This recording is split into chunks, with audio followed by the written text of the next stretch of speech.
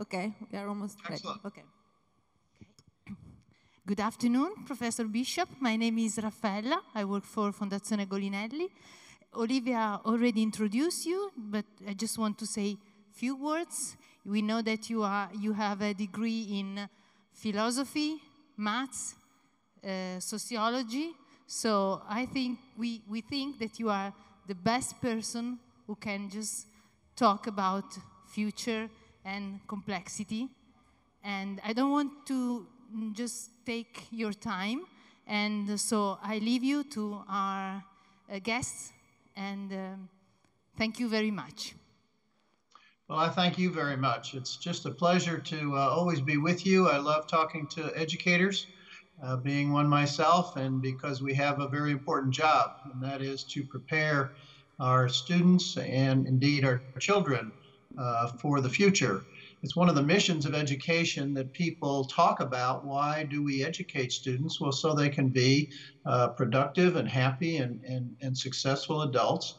Uh, and we tell them a lot of things. We teach them a lot of things to do that. We teach them to read and to write.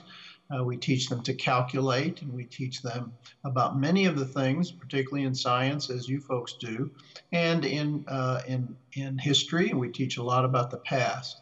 One thing we don't teach them, however, is about the future. And of course, there's a lot of good reasons why we don't teach them about the future. Uh, first of all, are we going to put the uh, the slide up uh, on the screen or not? Should, is that going to happen? Oh, I didn't share my screen. My mistake. Sorry. Um,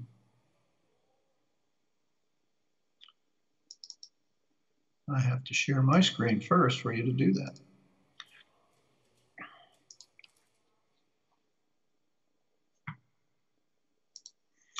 There we go.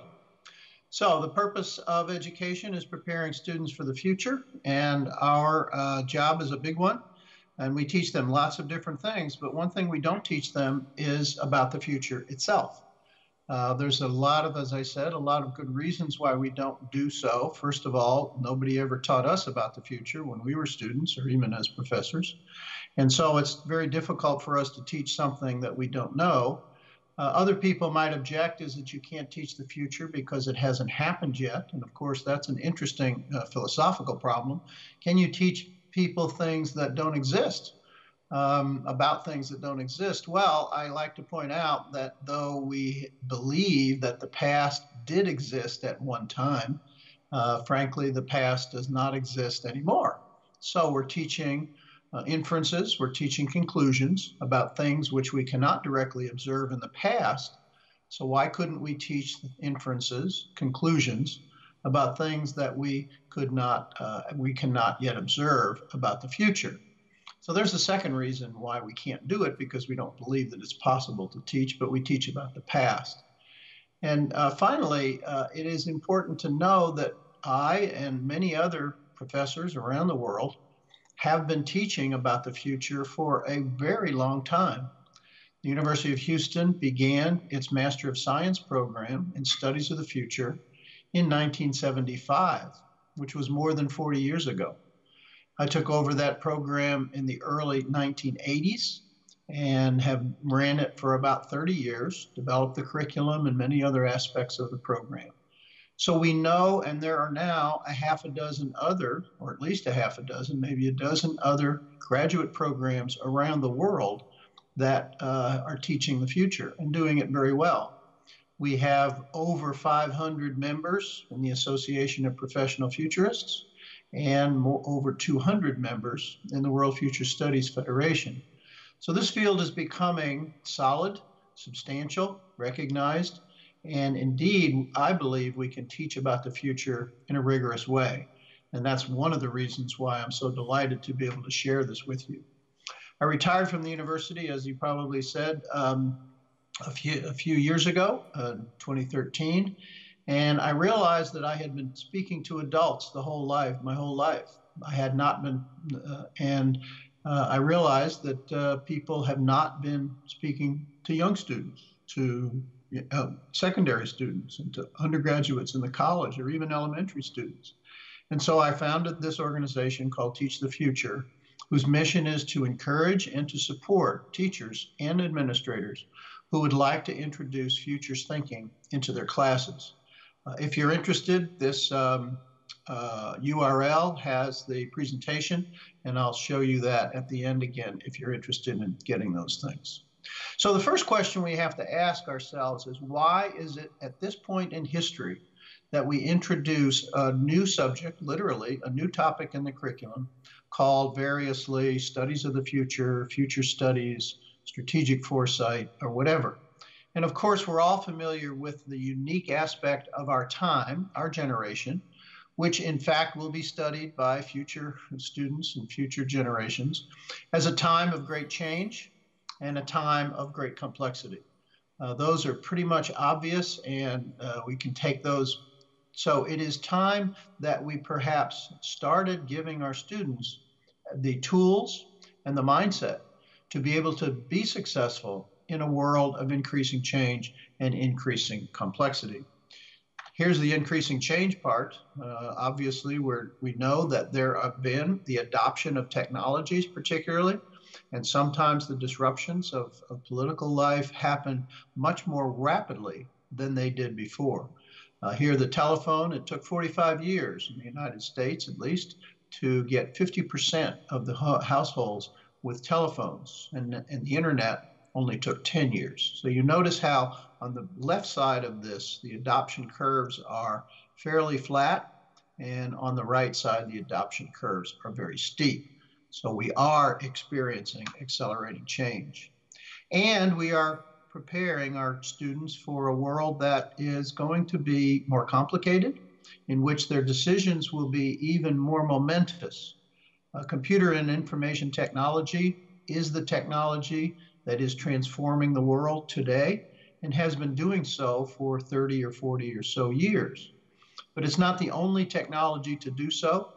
Before, tech, before information technology, it was petroleum. Before that, it might have been the railroad or electricity. And before that, it was fossil fuels. So everyone has their time in the sun, so to speak. And after a while, they become part of a new normal. What is the next technology? Well, we don't know. One of the candidates is biotechnology, and this is an enzyme, CRISPR, which allows biologists and, and doctors to actually edit the DNA in the uh, in, in the DNA in the nucleus of the cell. I'm sure you're very familiar with this. Uh, how are we going to use this? Is it going to be anyone, or is it going to be somewhat controlled? Will, will people be able to hack into the DNA in their garage or in their basement?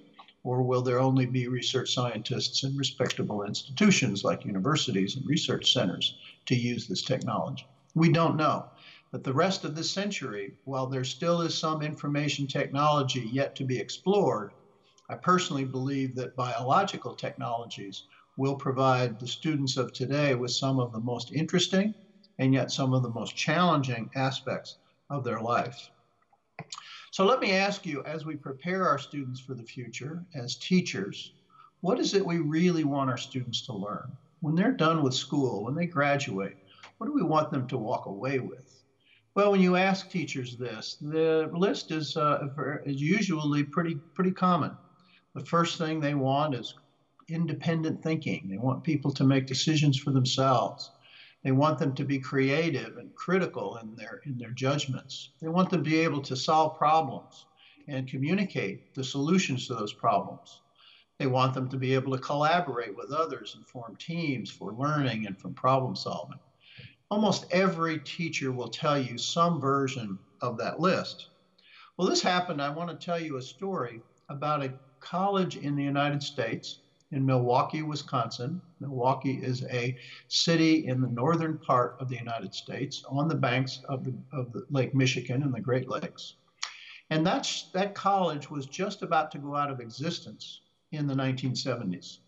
It had served up to that point as a college for sisters, for nuns, women who had devoted themselves to the religious life but in the 1960s and 70s, many of them were leaving their religious orders to become secular.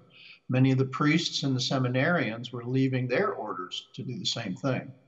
So Alverno College, since that was their total population, was about to close. The president of the college, however, called the faculty together for a required meeting every other Friday in one semester. And in each Friday, one department had to stand up and answer the question What is your contribution to the liberal education of women? What is interesting in the answer was just, just pretty much what I just described. They didn't talk about factoring a polynomial equation or understanding the base pairs of DNA or counting the aqueducts of Rome or the hills of Rome, any of those things in history or math or science. What they said is exactly what I just said. They want them to be critical thinkers. They want them to communicate. They want them to work together. The one thing that everybody says this, but Alverno College did one more thing. They actually created a curriculum out of the faculty to teach those things in a very explicit and a very assessed version. Here's a list of the eight what they call global competencies. And every class in the college has learning objectives for the discipline, for history, for math, science. And they also have learning objectives for one or more of these competencies, and they are assessed on those. So a freshman class and, in coming in will be assessed at fairly elementary levels of social interaction, problem solving, and analysis. But by the time they become seniors, they are adept at being able to do these, these tasks and get high assessments. As a result, they are very much sought after by the businesses and the colleges around that area of the northern parts of the United States. It's an ideal situation for saying, yes, we should be teaching content, but at the same time, we should be teaching skills. We have an organization in the United States called the Partnership for the 21st Century, and they have listed the skills here on the left as things which we should be putting priority on in school things like creativity and communication, critical thinking, exactly what I'm talking about. Bloomberg is a business organization in the United States that did a survey of people who are recruiting young people for businesses.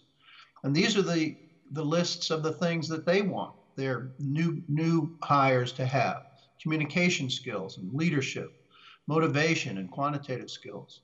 We're teaching some of that, but most of the time we are teaching the material we're not teaching the skills. Most of the time, we're teaching out of the text rather than taking time to back up and let students learn to discover what it is to think critically or what the issue is or analytically. And so we take we don't usually take time from the material because we have so much material to cover. We have so much knowledge to, to transmit that it's very hard to find time to really spend time teaching these skills. My claim is that Future Studies is a perfect platform for teaching these skills. You can teach critical thinking in history or science, and you can teach problem solving in social studies and, and literature.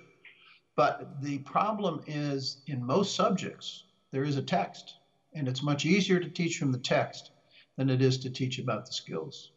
In future studies, conversely, there is no text. It therefore requires a process to think about the future, do research, think creatively and critically about what could happen, make decisions and identify one's values about what they prefer to see happen, and various and make steps towards coming up with a better future, empowering them to actually have influence. So future studies is a great way to do that. And therefore, I think we should be beginning to think about how to introduce future studies into the schools. So let's ask where students learn to be, uh, to think about the future already, because we certainly do that a lot as students and as adults. I believe there's one class in particular that stands out as the class where we learn mostly how to think about the future, and that's your field in science class. In science class, the future is predictable. It is possible, given the right equations and the right theories and the right boundary conditions, to come up with a prediction of what the experiment is going to provide. In fact, students doing lab experiments get good grades when they fulfill that prediction and they get that result that the theory produces. That's a good thing, and in science, it's an excellent thing, and we certainly want to teach students to do that. The unfortunate outcome, however, is that it produces an image of the future which may not be completely accurate. It may be that we think of the future as a road or a river, as a windy, perhaps, or even as a roller coaster, a, a, way that there is a path to the future. This is the most common image of the future, and therefore we have to uh, take it into account. Is the future really that way?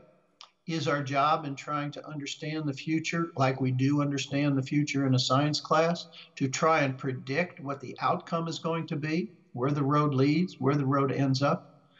Well, if we had a history class that was um, much differently taught, we would realize that the future is actually not quite so determined, particularly in social science as opposed to physical science. There are a lot of contingencies. There are a lot of things that can go one way or the other. Even one insight into history class would be that the people who created the past, who took actions, didn't really know what the outcomes of those actions were to be. They were just as uncertain about their future as we are about our own. And so, teaching history as a series of contingencies how did this happen? What could have happened instead? Rather than a deterministic chain of causes and effects, which seem to be more or less inevitable, supporting the predictability of the future that we got from science class, well, then it was inevitable. These things had to happen. Well, of course, they didn't. A third source of our understanding of the future comes from a different source, not so much in class, though teachers can be that, but from parents, from priests and ministers, from motivational speakers who encourage us to uh, reach out and inform our lives and take control of our lives. And those are the motivational speakers who tell us that you can be anything you want to be as long as you set goals and as long as you work hard and are committed to achieve them. Well, that's true to some extent, but it's not complete. But that itself carries a metaphor for the future, not a road, not a game of chance, but a blueprint, a plan. And the difference is that this metaphor of the future has us in the driver's seat. We are creating the future to that, again, to some extent, that's true. But the world doesn't allow us to have everything or do everything that we want. It has a say as well. The problem with all of these metaphors is that all three are quite, quite common, and teachers don't know what to do with them. Teachers have, uh, are, are understandably concerned if they are confused and they don't know how to approach the future, well, they certainly don't want to introduce that subject or that idea in class because then they will only confuse the, the, the, students further. We have a solution to that, however, and that is not to choose any one of these metaphors and any one of these understandings of the future, but rather to choose all three. The future has different types of futures in them, and we should respect each one of them. The first of these is called the expected future. It's the future that would occur if all of the trends continue, if all of the plans that influential stakeholders have made are successful, if all of our assumptions about how the world works turns out to be true. Now you can think immediately, well, that's not true. But it's a good place to start because it points in a direction. It gives us a platform to start thinking about the future. Do we want that future? Not. What are its implications? Can, are those challenging? Are those easy? And it gives us a sense that we are using the social science, particularly the scientific principles of trend extrapolation and linear planning, to point to a particular future before we get there. But we know that that future is not, not guaranteed. And most likely, something else is bound to happen instead. So we have another set of futures, not one, but one number of them, that are alternative futures. This could happen, that could happen. And all of this seems pretty obvious, but we don't teach it that way. We don't introduce it that way. The last then type of future is not the future that the world will create for us or for, for our colleagues, but rather it is the preferred future, the future that we want to see happen, the future that we can commit to try and create using our time and our talent and our resources. So future studies in, in school should be alerting students to all of these three futures and giving them the tools and the mindset to be thinking about their future using these concepts. The mechanisms that produce the future, therefore, are three. First of all, momentum, a physics, an analogy from physics.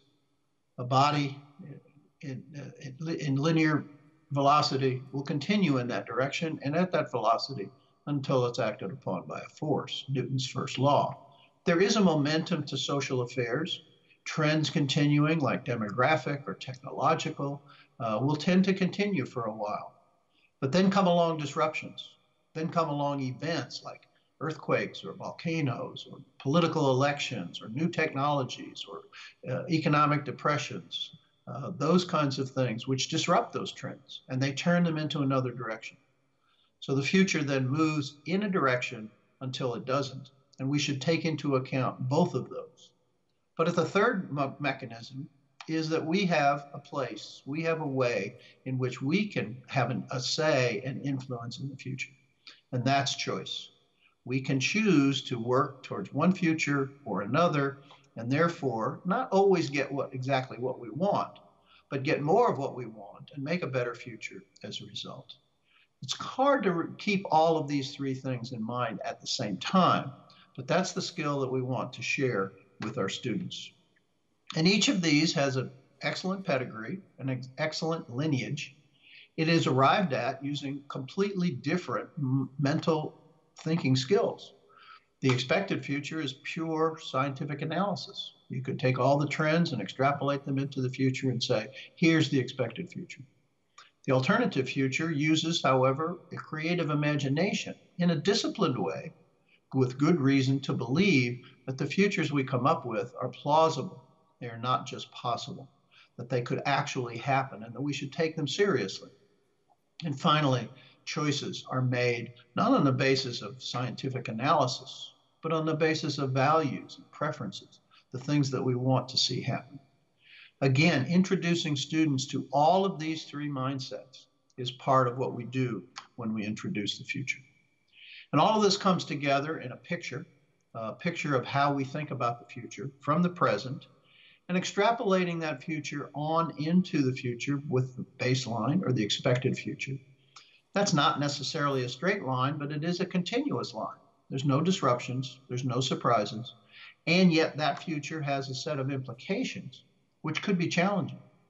Are we going to, if we headed off in this particular direction and we did that for another 10 or 20 years, what would the world be like? Would we like that? Would we not? What challenges would it provide for us? That's a kind of implications thinking that is important. The alternative futures appear not as a line, but rather as a cone, a cone of expanding plausibilities, the, the limits of plausibility, not just possibility, but plausibility. But there are, of course, an infinite number of points in a cross section of a cone.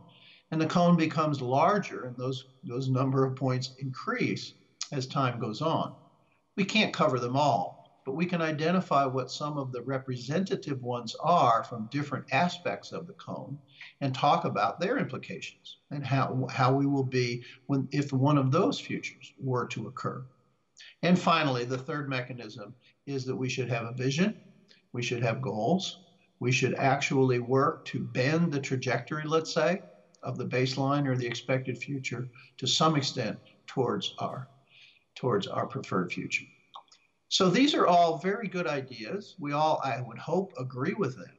But what we have not done is yet acted upon them. The genius of the president of Alverno College was that not only did she understand what her faculty wanted the students to learn more than just what was in the text, they also, she also implemented a system in the 1970s to bring that about through rigorous curriculum planning, teaching, and the assessment, not just of content material, but of skills. So we should be intentional about teaching the future, not just let these metaphors float around the metaphor of the road or the metaphor of the game of chance. We should be explicit and have students working through what all those things mean to them, what's going on in the world, and where we might actually end up. So I put together a short list of ideas that I think we should teach the future. Uh, one can teach the skills, one can teach the process, And indeed, that's what we do for graduate students at the University of Houston.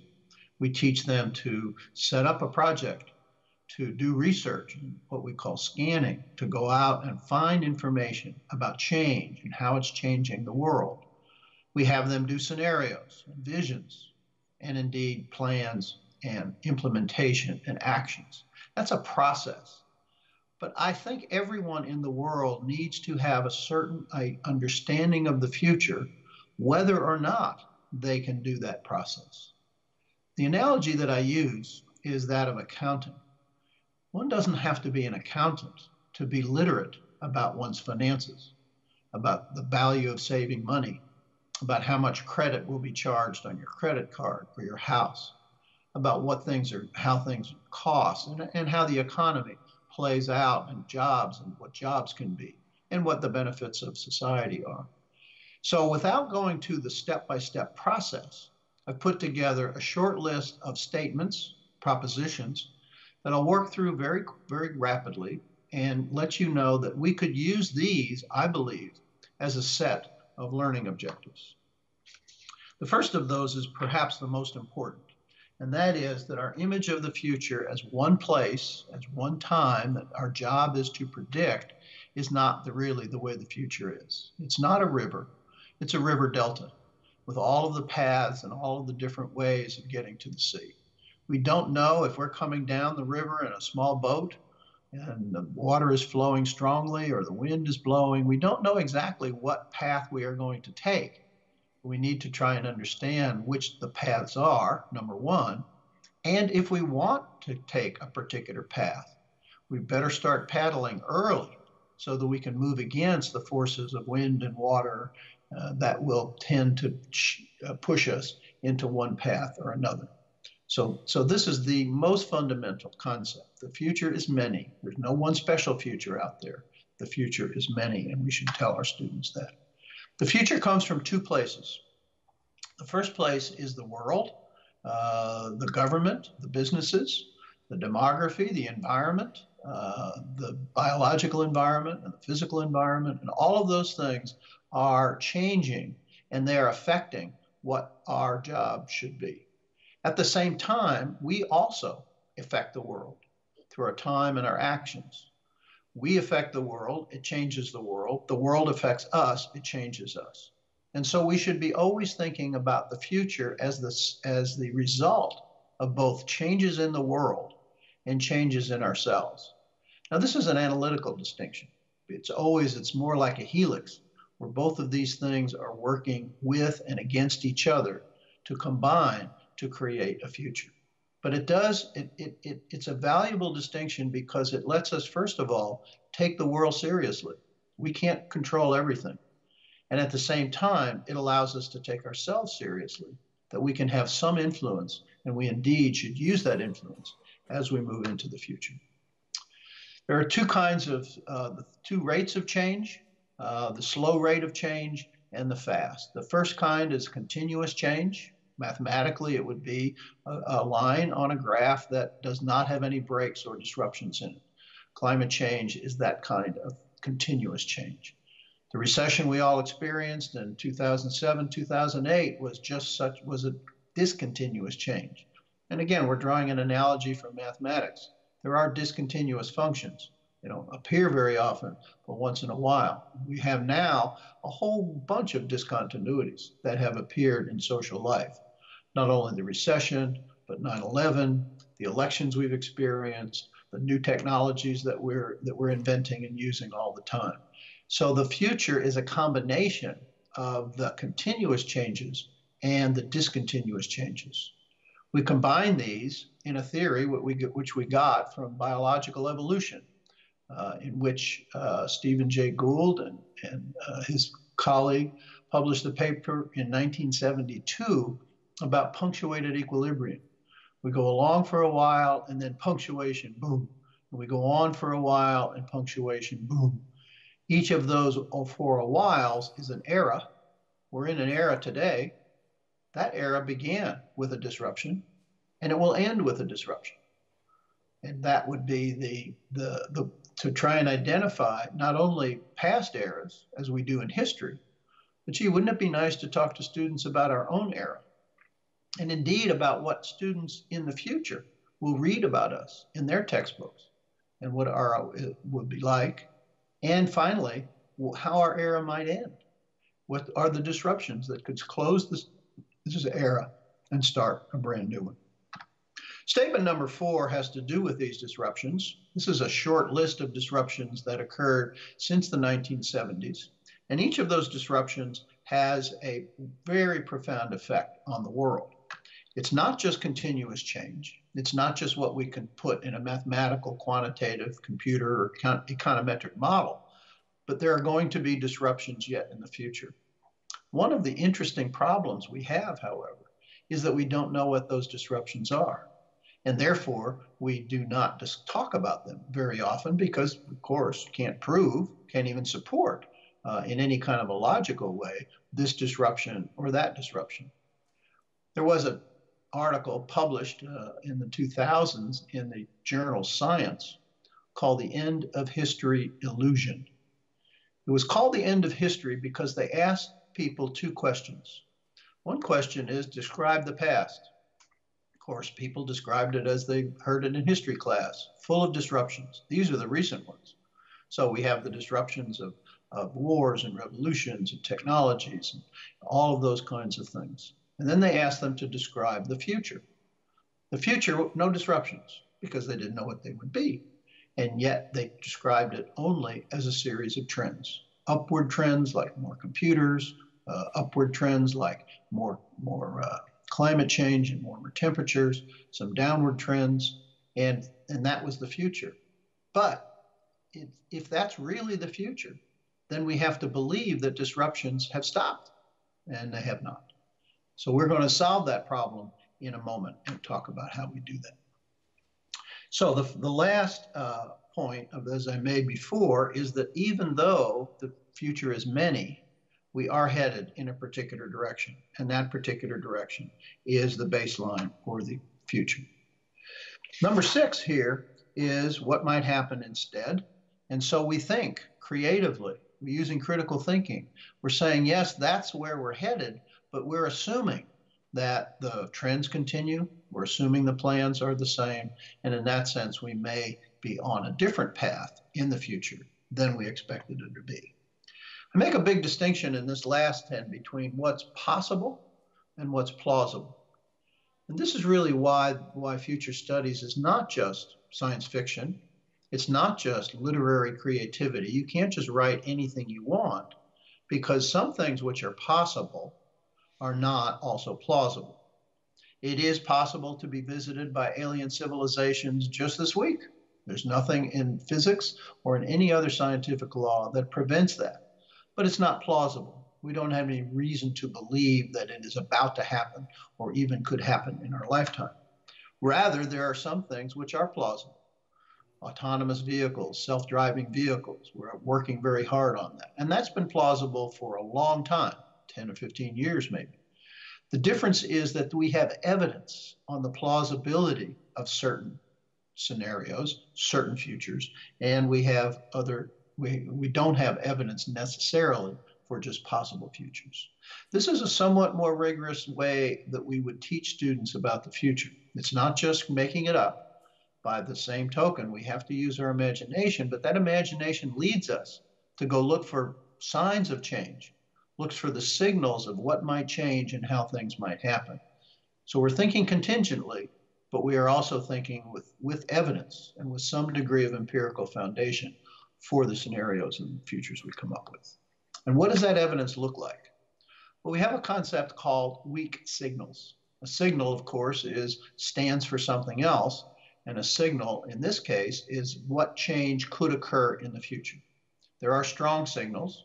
Strong signals are trends that we have documented uh, over and over again. We have databases full of them. We have organizations in the world that publish them and rely upon them for decision making. A weak signal is a signal that is not that strong. It's an event. It is actually uh, or a new piece of information, but it hasn't not changed the future yet. In fact, it may never change the future. But if it does, we will be aware of it. So the weak signals are one sign that the future could go in one direction or another direction. And that is uh, what we do. What we do there. Of course, the analogy here is of a radar screen, where we have blips on the radar screen. Some of them are bright, and some of them are rather hazy or or or uh, foggy, and we may not know whether there's a real signal out there or not. I love this picture of uh, children playing in a creek um, this is a park uh, in northern Minnesota, another state in the north central part of the United States. And the name of that creek is a, is a surprise. It's actually the Mississippi River. The Mississippi River, one of the largest watersheds in the world, begins as a little creek. Now, there are lots of creeks in northern Minnesota that don't become Mississippi rivers. Most of them, in fact, don't. But this one does. And so we should be looking for weak signals to realize that we don't know exactly what's going to happen. And yet we're going to pay attention to change. We're going to think creatively about how to think about change and think, think of what those futures are. Item number nine is a very strange analogy, and that is that these are astronauts who are preparing to go into the space station. University of Houston, where we first founded this program, is right next to the Johnson Space Center, where these astronauts train. They talk about the future a lot. They train in simulators and they train in problem solving.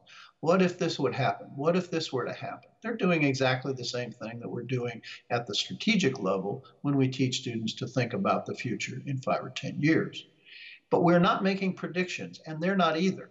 Most of the things that they train for are not going to happen. They don't happen. And if an astronaut should come back from the space station and say, you know, all that training we did was a gigantic waste of time because none of that happened. But they were prepared if it did. So we're not just kind of making multiple predictions. We're not like betting on every horse in the horse race so that we get at least one winner. No, we are understanding change as it could occur to us. And frankly, even though, just like the astronauts, if none of those bad things happen, we are more prepared and flexible and ready to accept the changes that do happen, which, as I said in the, in the first part of this talk, is going even faster and more in more complicated ways than before. So the last is a caution: be careful. this is, I love this kid. he's, he's, he's doing his best to climb up to the top of that. But what we are engaged in in the future is uh, risky, uh, might even be considered dangerous. And in that sense, we're, we're, we need to uh, get started on thinking about the future. How can we do that? How can we begin the process of thinking about the future? Well, we have uh, uh, documents, we have a library of, uh, of materials, and I'll show you that in just a moment. Uh, we have teacher development workshops, we have student engagement programs, and we have books for students uh, that they can use to be thinking about the future. So the materials we're, we're developing at, uh, at Teach the Future mostly, we're developing materials that teachers can use to teach the future. Here's a picture of the Teach the Future library, a very simple URL there. It has over 60 different modules and people can download those uh, for free at any time that they want.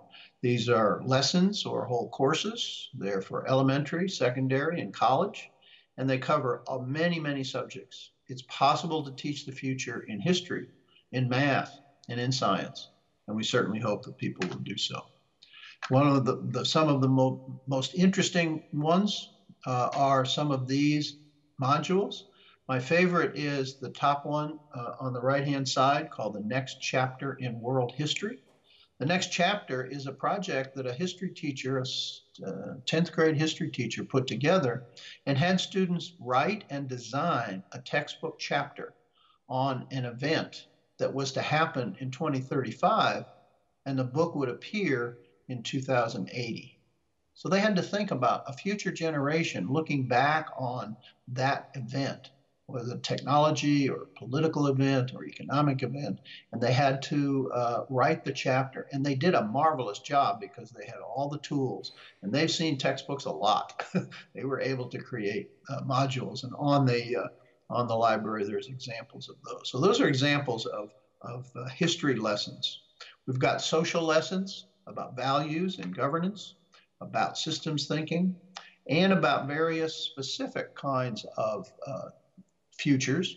This is a whole, the one here is called a whole course on human augmentation, how we might actually enhance ourselves with uh, devices and with techniques for increasing our strength and our stamina, our health, indeed our intelligence. And so all of these things are going forward.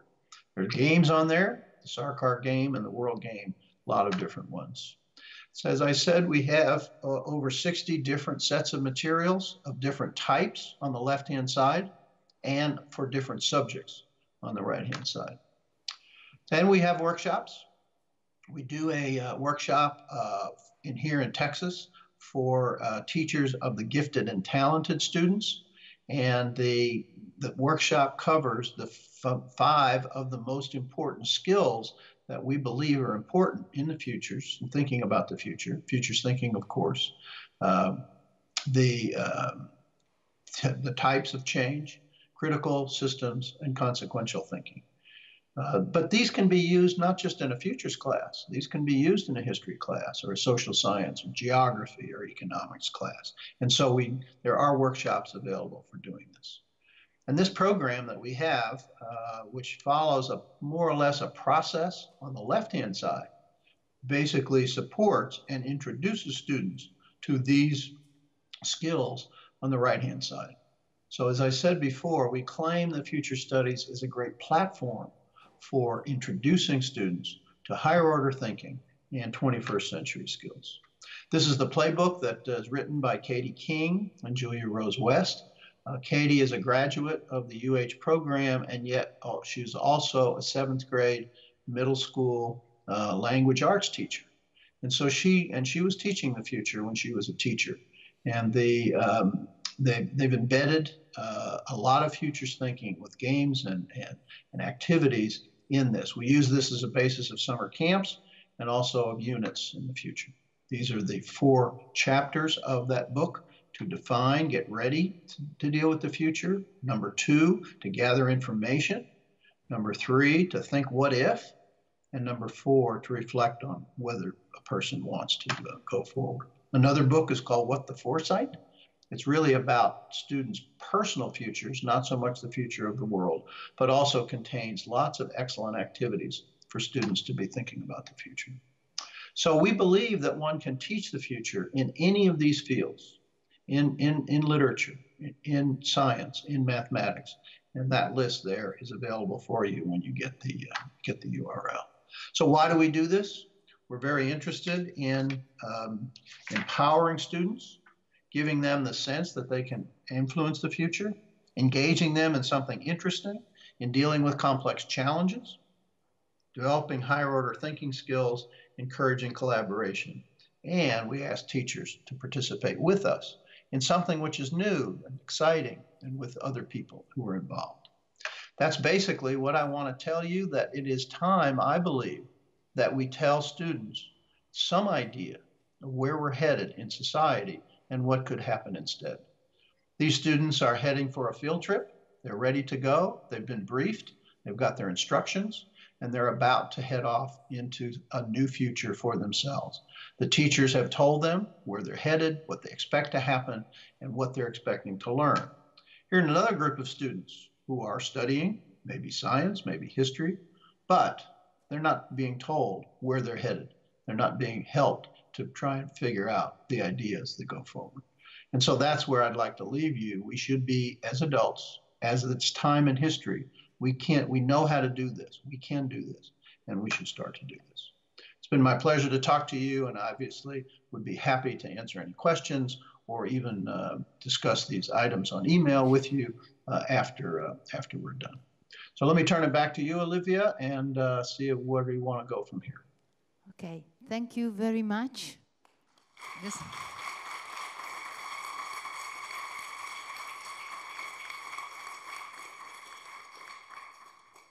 Thank you very much. That was wonderful. Thank you. I don't know if is there any question for Professor Bishop? Yes, we can translate. No problem. Yeah, okay. Very good. Thanks very much. Uh, hi, and uh, thank you for your discussion with us. I would like to ask you about point eight that you discussed uh, on the 10 things you, you need to know. You said that students and young adults should look for weak signals. And that's interesting, but uh, how do we um, teach them how to separate facts and signals? I mean, I'm, I'm worried about uh, overcoming them with too much information, and I don't know how to extrapolate the meaning of each of them. How do you, how do you approach this problem? Over information, over extension about this. Thank you very much. No, I, I really appreciate that question because it strikes at the heart of one of the problems and one of the reasons that we don't teach the future. It is vast.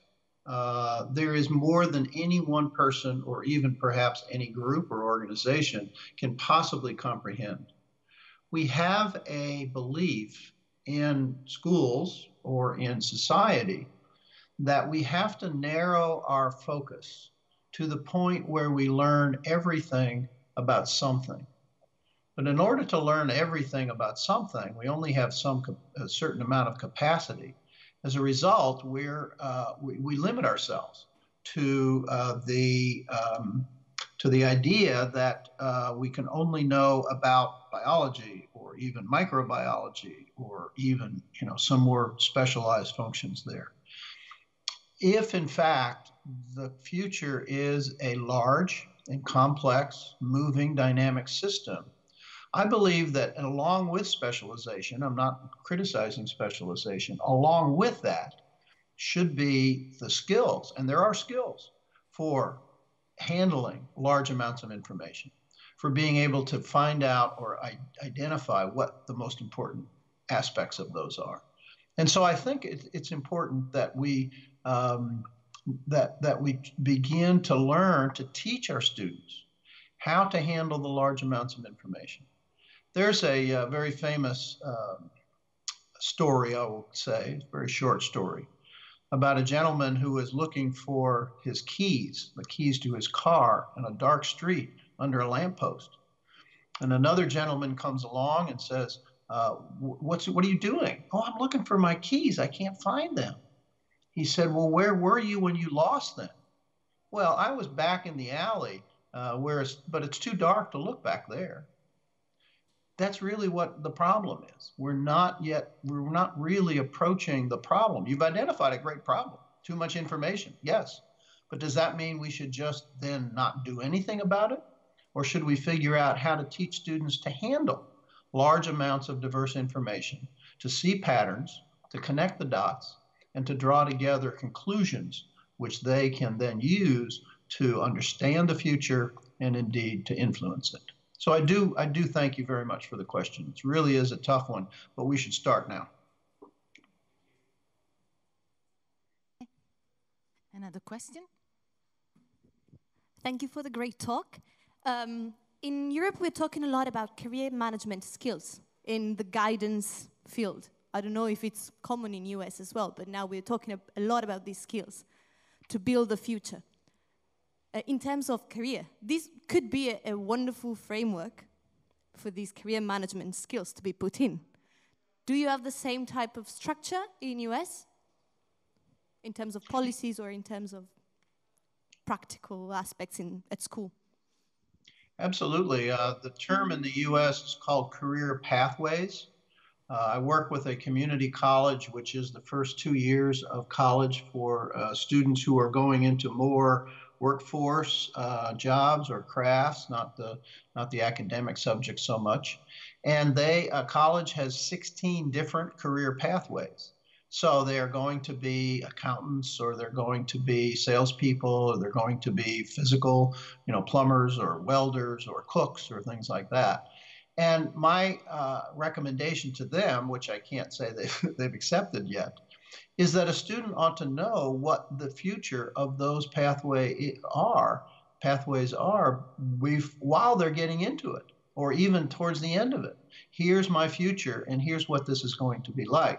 So I agree with you. It, one of the saddest and most disappointing uh, lack of interest in the future that I find myself, and it may be different in Italy, and that is those people who are who are advising students on their future in school, career counselors and career advisors, are not particularly interested in the future. They basically their by their behavior though i don't think they would necessarily admit this by their behavior they believe that the future is going to be pretty much like the present. And because they don't alert students to the fact that those that their uh, their future could be different that this career pathway that they're getting involved in has a great life but there's an alternative future out there in which frankly it just goes away and we know that there are a lot of outsourcing and a lot of automation solutions today in business and in government uh, that basically put many, many careers and even in jobs, of course, at risk. So we should be talking to students and we should be talking to them about that. So, yes, I agree, we should be doing that. And I'm doing everything I can to try and alert them to that fact. I thank you for that question. It's great. We have another question. Thank you. A quick one. Do you see a link between uh, future studies and uh, um, the, the, fight against crime and youth delinquency?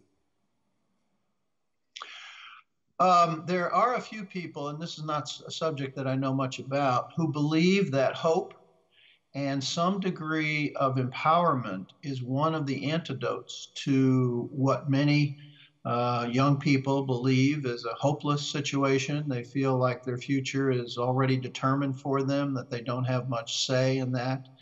And as I said before, we can't be uh, overly optimistic. You can't have every future you want. But of course, giving up and not trying for a better future is one way of not getting that future. As one person once said, if you don't become part of your own future, you'll become part of somebody else's. So empowerment and, and, and student, some degree of student responsibility for their lives, is that going to solve the problem of crime and delinquency? Well, of course not. But I think if our schools were more geared towards some of those skills, we would not find ourselves with large numbers of students in a hopeless, in some cases even a depressive uh, situation. And I do believe that future studies could help with that. Okay. Uh, we thanks again Professor Bishop, Bishop for his uh, interesting talk. I don't know if El Olivia wants to. Yeah, maybe. Okay. Um, Peter, uh, may we say that we will uh, give them the slides? your yes, of course. That's why. I, here, let me put the uh, let me let me put okay. the the um, the, the URL back up again. Want to, okay. Thank you very much again. Hold on just a second. Thank you. yeah, you can go to that URL and, and pick up those slides. Thank you very much. Sure. Just tell everybody where you got them. okay. okay. okay. Right. Thanks. Thank you. Right. Thanks. Goodbye. Bye. Bye bye. Goodbye. Okay.